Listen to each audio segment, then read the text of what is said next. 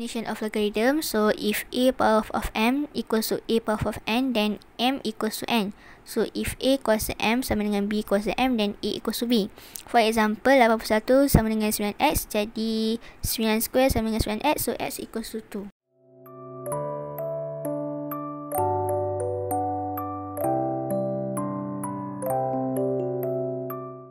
That's nak tukar jadi log. So a power of 0 equals to 1. A tu bawa pergi belah kanan jadi log base A1. 0 tu jadikan dia base. So uh, tengok contoh bawah tu. Lepas tu second.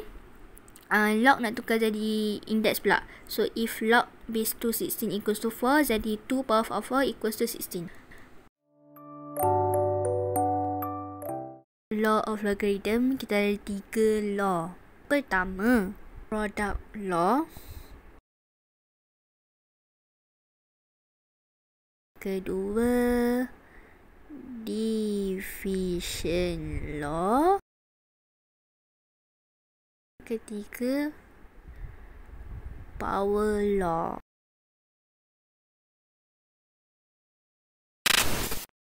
Okay, so ni uh, steps untuk solving problems involving indices, sets and logarithm.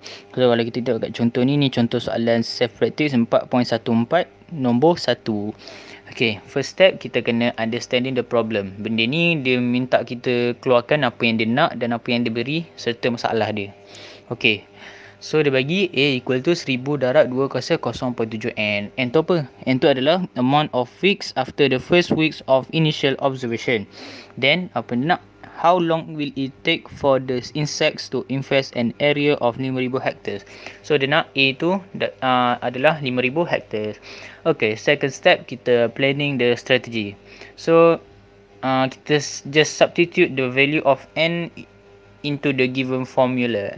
Okay step 3 implementing the strategy. So benda ni dia sama je macam solve. So kita just solve kan macam biasa.